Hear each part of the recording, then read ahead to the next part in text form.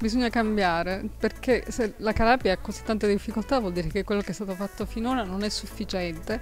Bisogna prendere le lezioni che sono state positive, che ci hanno fatto crescere, e mm, partire da lì e proporre qualcosa di nuovo.